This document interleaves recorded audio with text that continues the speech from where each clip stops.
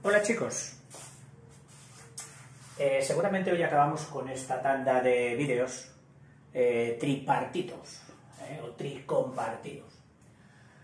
de filosofía es el 05, de lengua es el 05, mientras que de teoría de conjuntos es el 04, porque me olvidé en el anterior de hacer una consideración del tema que trataba que era la disyuntiva, hacerlo en teoría de conjuntos, que la voy a hacer ahora brevemente.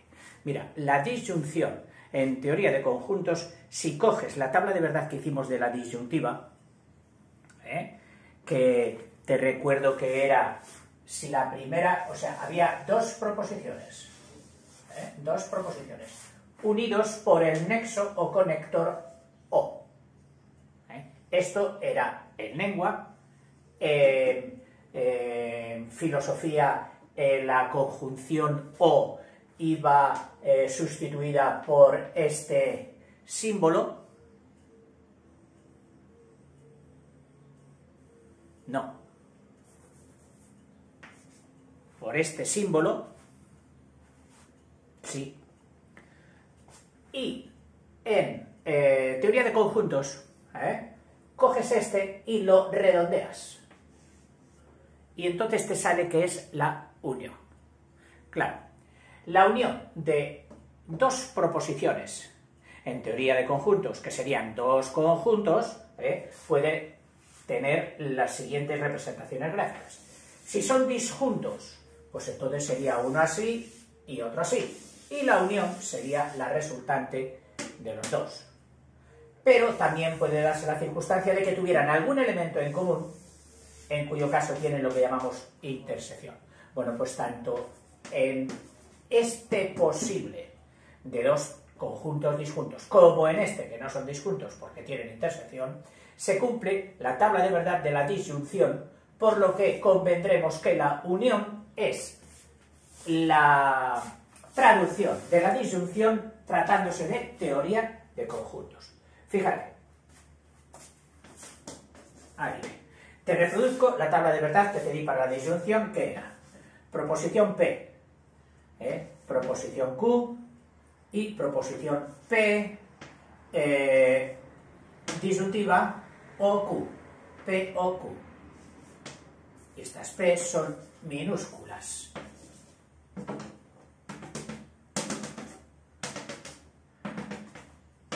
En el caso de que estuviéramos mm, con la lupa, con el prisma de teoría de conjuntos, esta P sería nuestro conjunto A, esta P sería nuestro conjunto B y este sería nuestro conjunto unión A unión B. ¿Eh? Y ahora, decíamos que P, que P es verdadera y Q es verdadera, la disyuntiva también es verdadera. Vamos a ver si se cumple decimos una P eh, que sea relativa aquí. ¿Qué significaría? Pues, por ejemplo, decimos, el elemento 7 pertenece al conjunto A. 7 pertenece 7 pertenece a A. 7, eh, ah, en el primer caso, para que fueran verdaderas los dos, para que fuera P y fuera Q, tendríamos que 7 pertenece a A y 7 también pertenece a B. En cuyo caso decimos que A unión B, A o B resulta verdadera, ¿eh? porque al pertenecer a los dos, diremos que pertenece a la unión. Que 7 pertenece a A unión B. Por lo tanto, verdadero, verdadero y verdadero. Segundo caso, en que la primera fuera verdadera, la segunda fuera falsa, pero dicen que no obstante, solo por tener una verdadera, esta también es verdadera. Comprobémoslo con nuestro querido 7, que ahora, en vez de colocarle en la intersección, ¿eh? lo colocaremos de forma que en el primer caso, que 7 pertenece a, es verdadero. 7 pertenece a A. En el segundo caso, 7 pertenece a B. 7 pertenece a B. Falso. 7 no pertenece a B. No obstante, eso no quita para que 7 pertenezca a la unión. Es decir, 7 sí pertenece a la A unión B. Por lo tanto, verdadera, falsa, pero la disyunción, en nuestro caso la unión, es verdadera. Tercer caso. Tercer caso. En que la primera fuera falsa. Es decir, yo he dicho que 7 pertenece... Perdón, ahora pongo 7 aquí. 7 pertenece a... Y tú dices, que va? Eso es falso. Vale, pues falso. Eh, tachado, falso. Sin embargo, que 7 pertenece a B es verdadero.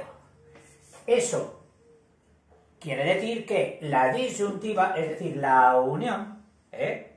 estaríamos diciendo 7 no pertenece a o pertenece a B.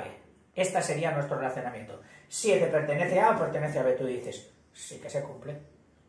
Es cierto, no pertenece a A, pero pertenece a B. Luego, el resultado de la proposición compuesta en la disyuntiva es verdadera, o sea, falso, verdadero, y esto es verdadero. ¿Eh? Y por último, o sea que diríamos que de aquí se deduce que 7 sí que pertenece a A unión B. Último caso. ¿eh? Último caso. Habíamos dicho que, que fuera falsa la primera, la primera proposición, falsa la segunda y que entonces la compuesta ¿eh? de la disyuntiva sería también falsa. Vamos a ver si se cumple esto aquí con nuestra unión y diremos, el 7 no pertenece a, ¿vale? El 7 no pertenece a, bueno, pondríamos 7 pertenece a y resulta que el 7 no está ni aquí ni aquí, está aquí. Está fuera, fuera de los dos. Aquí, aquí está el 7. Este es su sitio. Entonces tú dices, oiga, usted ha dicho que 7 pertenece a, eso es falso. Falso. Ahora viene y te dice que el 7 pertenece a B. Y tú le dices, tampoco, eso es falso. O sea, falsa la primera, falsa la segunda. Entonces, de aquí se va a deducir que 7 pertenezca a la unión B y tú dices, falso, falso. O sea, falso, falso y falso.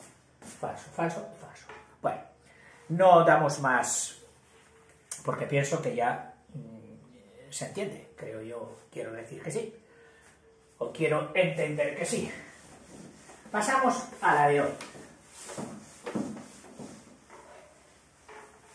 La de hoy, que es la implicación lógica, llamada así en filosofía, implicación matemática, también se llama implicación, sin embargo, perdón, el lenguaje es la condicional, ¿eh? si haces esto entonces te o sea que es una condicional, ¿eh? una relación condicional, así la llama la gramática, y la teoría de conjuntos también la llama implicación.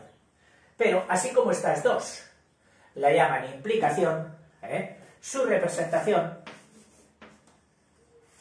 en filosofía sería A implica B. O si A, entonces B. Si A, entonces B. Estas son las dos partículas que le ponen. Si A, entonces, que también podría ser por lo tanto, entonces o por lo tanto, B. Esa sería la implicación eh, utilizada en filosofía. En teoría de conjuntos, bueno, pues en vez de utilizar esta flecha simple, dicen si A entonces B. ¿Eh? Esa sería la grafía o la notación para la teoría de conjuntos. Y en gramática, pues en gramática ¿eh? sabemos que no se trata de unas coordinadas, ¿eh? no, no, no, que tuvieran aquí el sí, no, ¿eh? se trata de una subordinada, es decir, donde ya hay una principal, con su verbo y su sujeto, y de la, del verbo, del verbo, nace una proposición subordinada adverbial condicional, cuyo, cuyo, eh, eh, cuyo eh, nexo, cuyo nexo sería el sí el sí. Y fíjate cómo se desarrolla la, la dirección, el transcurso del razonamiento. Si tú vienes, ponemos un circunstancial de lugar, a mi casa, complemento circunstancial de lugar, ¿qué ocurre? Entonces será la principal. Si proposición subordinada, si es cierta, ¿eh? entonces será la principal. O sea que tendríamos si, en gramática, ¿eh? en gramática, si proposición subordinada al verbial condicional, entonces sería verdadera o se daría la proposición principal. Esta hace de premisa para esta. Esto en gramática. Pasamos a leer porque aquí eh, estos apuntes tienen más carácter de filosofía que de lengua o de teoría de conjuntos. Entonces vamos a entender lo que nos dicen aquí.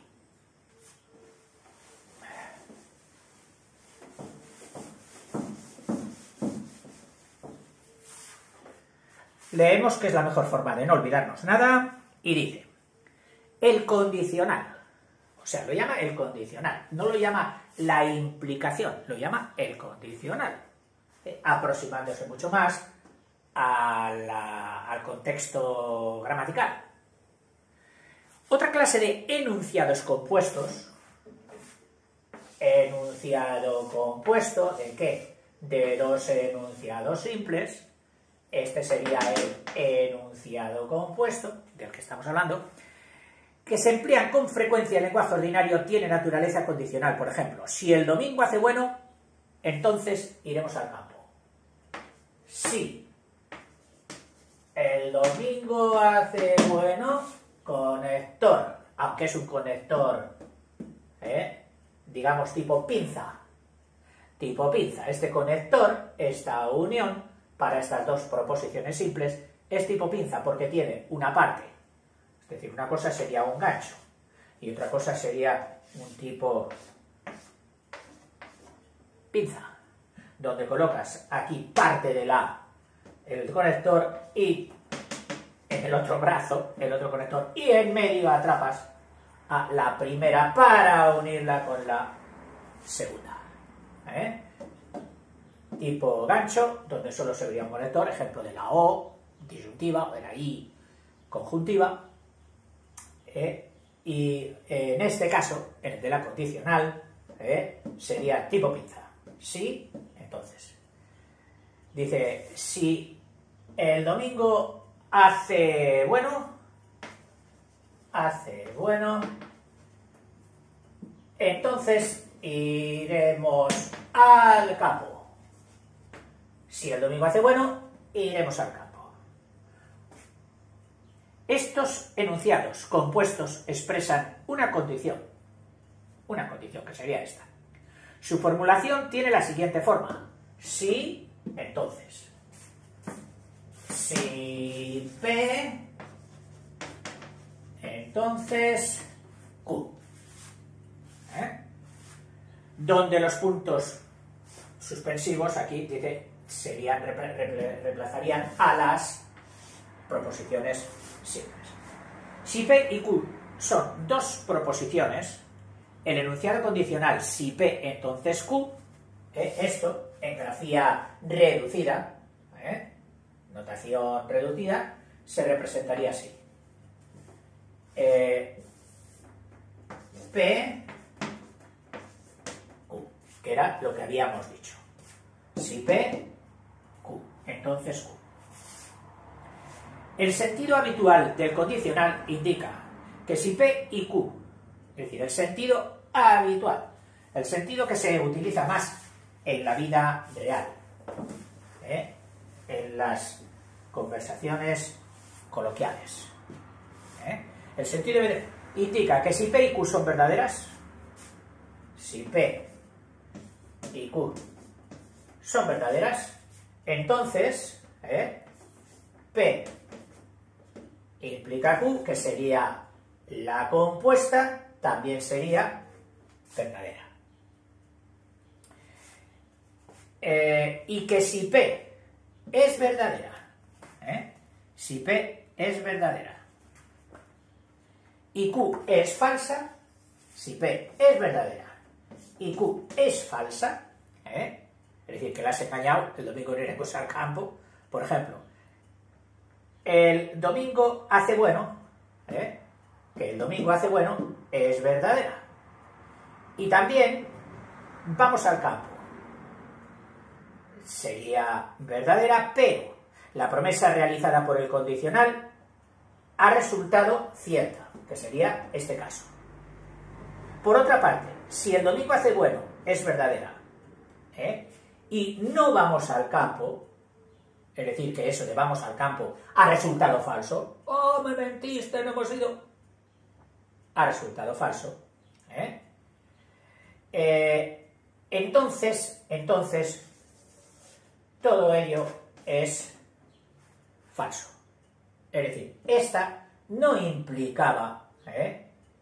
que esta fuera a ser verdadera, porque ha resultado falsa. Entonces, esta relación esta proposición, ¿eh? donde la primera era verdadera y la segunda falsa, toda ella es falsa. Eh, pero, ¿qué hacer cuando P es falsa? ¿Qué hacer cuando P ha resultado falsa? Con independencia del valor de verdad de Q. ¿Eh? ¿Qué puede ser esto falso o verdadero, pero que esto ya empieza siendo falso. ¿eh? Eh, se acepta que el condicional P implica Q es verdadero cuando P es falsa. Es decir, si esto es falsa y esto es verdadero, ¿eh? aceptamos que esto sería una forma coherente de hablar. Es decir, que sería verdadero. Ha resultado que el conjunto, la unión de las dos, la implicación es verdadera. Así, si el domingo hace bueno, si el domingo hace bueno, resulta que no es verdadera, ha salido un día asqueroso. ¿eh? Eh, entonces, ¿vamos al campo o no vamos al campo? sin que la promesa realizada por el condicional resulte falsa en ninguno de los dos casos. ¿Eh? No resulta falsa la promesa en ninguno de los dos casos, tanto si vamos al campo como si no vamos al campo. Entonces, el condicional, es decir, esta relación puede considerarse verdadera. Debe considerarse también que en el lenguaje cotidiano, hablando normalmente, solo se condicionan los enunciados simples si están relacionados de alguna manera, es decir, si tiene algo que ver. Tú no puedes decir, eh, si vendo manzanas, eh, las acciones, eh, o qué sé yo, si vendo manzanas y luego otra cosa que no tenga nada que ver. mi burro está cojo. Oiga, no, tienen que tener algo que ver. Esto es la vida real. Que en las formalidades de la lógica o en la teoría de conjuntos, ahora, en gramática sí, en gramática exigimos coherencia. ¿eh? Y debe considerarse también que en el lenguaje cotidiano solo se condicionan los enunciados simples si están relacionados de alguna manera. En el estudio de la lógica, es decir, para la lógica, ¿eh? y lo mismo diríamos en la teoría de conjuntos, no se exige que las proposiciones guarden entre sí algún tipo de relación. Esta libertad produce algunos resultados chocantes. ¿eh? Algunos resultados chocantes. Porque aquí eh, tendríamos que ahora verdadera falsa. Y si esta fuera falsa y esta fuera falsa, esta también sería verdadera. Porque estás diciendo que algo imposible o algo falso ¿eh? Eh, implica algo falso y tú dices, oh, tiene su lógica. Eso es cierto. Lo que estás diciendo es cierto. Que eso falso implica que esto sea falso. ¿Eh? Que esto falso implica que esto sea falso. es lógico. Estás diciendo algo verdadero. No puedo decir que mientas. Sería verdadero. Pero esto en lenguaje coloquial, es decir, esta sería su tabla. Pero, ¿qué ocurre cuando cogemos eh, relaciones del tipo de matemáticas, eh, matemáticas? Fíjate lo que sucedería. Ejemplo. Dice, si 2 por 2 es 5, la P sería 2 por 2, 5 la Q. Los elefantes vuelan. Oiga, P es falsa, Q es falsa, y sin embargo, usted está ahí, perdón, te digo falsa y te escribo una V como un castillo. Si P es falsa, Q es falsa, usted me estaba diciendo aquí que falsa y falsa era verdadero. ¿eh? Era verdadero. Dice, entonces los elefantes vuelan. Dice, resulta verdadera. Entonces los elefantes vuelan, resulta verdadera.